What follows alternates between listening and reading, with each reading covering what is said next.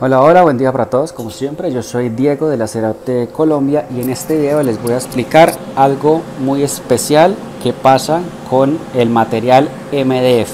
¿sí?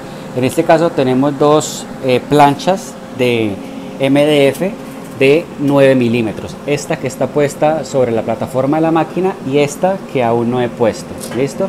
Les voy a hacer un video para mostrarles qué es lo que pasa y la diferencia entre un, un material y otro para que ustedes eh, entiendan eh, qué, es, qué es lo que sucede a veces con algunos MDFs y por qué no cortan.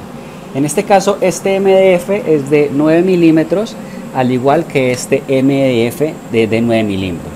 Son exactamente igual, son de lotes diferentes, ¿sí? Este lo compramos en un sitio y este lo compramos en otro sitio, ¿vale? En este caso vamos a ubicar, para empezar el video, vamos a ubicar el cabezal en cualquier posición. Vamos a ponerla en esta posición. Le damos origen y vamos a empezar. Vamos a enviar un pequeño cuadro. El cuadro que tenemos aquí vamos a verlo. Un pequeño cuadro de 30 por 10 listo a cortar. Ya les explico. Yo tengo una láser con un tubo eh, de 100 watts ¿sí?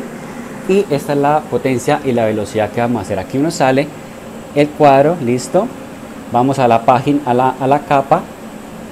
La abrimos y vamos a trabajar con una velocidad de 8 y una potencia de 40 listo y vamos a ver si nos corta. Aquí ya simplemente le damos ok. Ya está configurada. Para verla que esté configurada miramos en esta parte que me sale el color de la capa la potencia mínima y máxima y la velocidad. Listo y ahora vamos a enviar a cortar. Enviar a cortar nos verificamos que el chile esté encendido. Vamos a conectar el extractor y la bombita del aire. Y simplemente vamos a darle aquí en el software start. Ok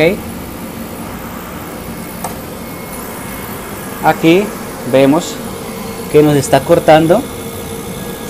Vemos por debajo si se alcanza a ver que está pasando el humo. Listo vamos a verificar vamos a sacar nuestra plancha. La corremos hacia el frente. Miramos el corte. Vamos a empujar. Y efectivamente nos cortó. Listo ahí nos cortó 9 milímetros perfectamente. Ahora vamos a poner esta plancha y vamos a cortar exactamente igual. Vamos a sacar esta. Podemos poner aquí a un lado. Vamos a montar ahora esta.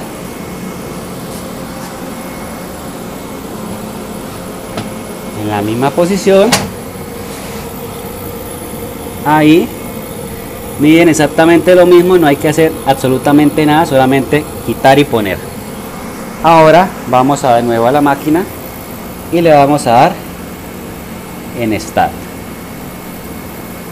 Aquí la máquina empieza a hacer el corte. Vemos que en este MDF el brillo es más largo y si miramos por debajo vemos que no está saliendo humo. Esto nos indica cuando la máquina esté cortando y nosotros veamos por debajo y no nos sale luz o humo, es porque no nos está cortando. ¿Listo? Vamos a cerciorarnos, sacamos la, la plancha, verificamos el corte, vemos que este corte está un poquito más grueso, más quemado, vamos a tratar de sacarlo y no nos sale. Tratamos de hacerle fuerza y no nos sale. Si verificamos por detrás, cómo nos quedó. Vamos a ver. Vemos que no nos hizo absolutamente nada ¿sí? vemos el cuadro y vemos que no nos hizo absolutamente nada. Vamos a hacer la siguiente prueba. Con este mismo material vamos a ponerlo de nuevo ahí y vamos a pasarlo dos veces ok lo tenemos ahí. Vamos a la máquina vamos por la siguiente pasada le damos start y vemos cómo está vamos a ver si esta vez si pasa por debajo el humo si nos está pasando un poco, dos pasadas. ¿Listo? Entonces, este cuadro, para ver acá, se demoró 9 segundos. ¿Listo? Si lo pasamos dos veces, 18 segundos. Vamos a sacarlo. Vemos que una diferencia entre un corte y el otro, este como la pasamos dos veces, quema un poco más que el que se pasó solamente una vez. ¿Listo? Aquí vemos que queda caliente, vamos a tratar de sacarlo. Empujamos y aún así, habiéndolo pasado dos veces, ni siquiera, ni siquiera se puede sacar. Si vemos por detrás, vemos que ni siquiera nos marca o nos muestra que se haya cortado el material. ¿Sí? Mire, dos veces y no traspasó. ¿Por qué pasa esto? Porque hay MDFs, vamos a poner este acá que no se cortó y vamos a ponerlo junto al MDF que sí se cortó y si nos damos cuenta entre un MDF y otro tienen exactamente el mismo grosor ¿sí? exactamente el mismo grosor. 9 milímetros y 9 milímetros. Pero ¿por qué uno corta y el otro no? eso depende más que todo de la forma en que se fabricó. Vamos a ponerle el metro acá para que ustedes se den cuenta. Si le ponemos acá el metro se dan cuenta que mide 9 milímetros. ¿sí? ahí está 9 milímetros. Este que sí cortó. Y vamos a medir este que no cortó y se van a dar cuenta que es exactamente la misma medida ahí está 9 9 milímetros también si ven? 1, 7, 8, 9 ahí está pero ¿por qué uno corta y el otro no? Sencillamente porque la configuración de fabricación de uno es diferente a la fabricación del otro. ¿Y cómo saber en una ferretería o en una eh, eh, carpintería qué tipo de MDF debo comprar? Es bastante complicado saberlo.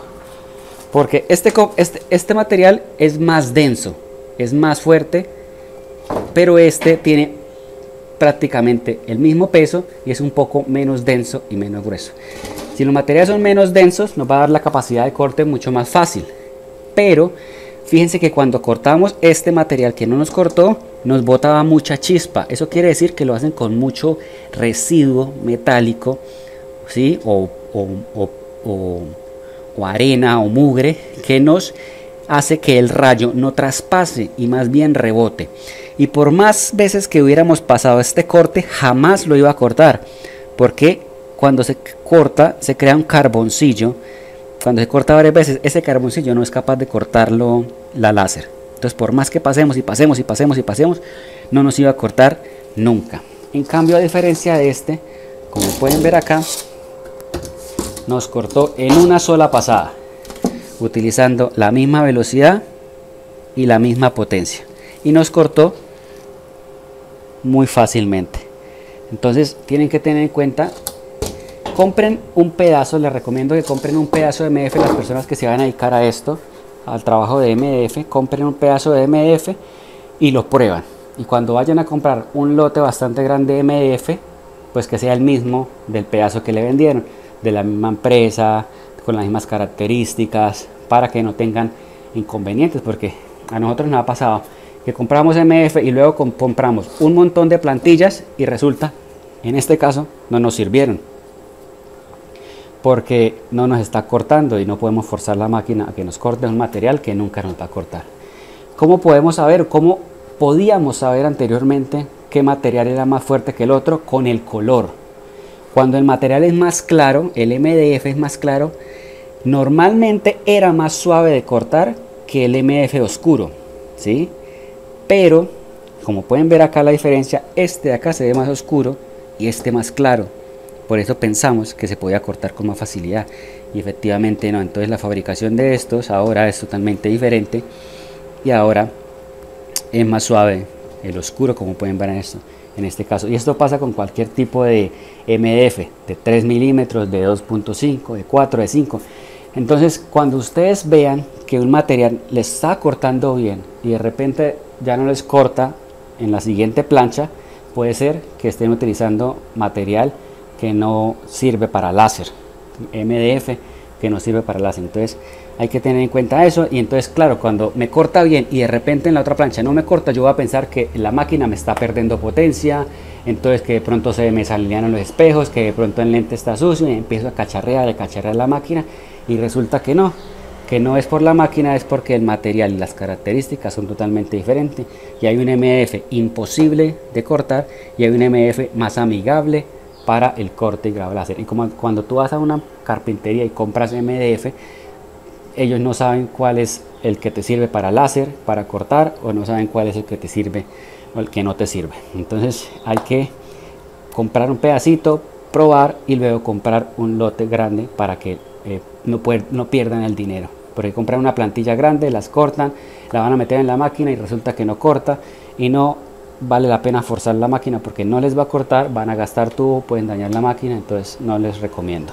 Entonces, ojo con eso, tal vez a ustedes también les ha pasado, es una inquietud ¿sí? que ya me habían dicho y que pues, cuando les pasa eso empiezan a revisar toda la máquina y resulta que no es así. Entonces ahí les dejo el videito, consulten bien, averigüen bien.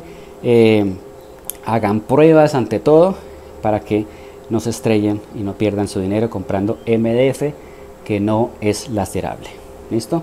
No alargo más el video, gracias por estar pendientes, gracias por suscribirse, suscríbete si no estás suscrito, vienen nuevos videos, enseñanzas, aprendemos todo sobre máquinas de corte y grado láser. Listo, gracias por el apoyo, dejen su like y como siempre apóyenos con la compra de los paqueticos y los vectores que tenemos disponibles en nuestra lista de reproducción, vectores para corte y grado láser y nos vemos en un próximo video. Yo soy Diego de Lacerarte Colombia y chao chao.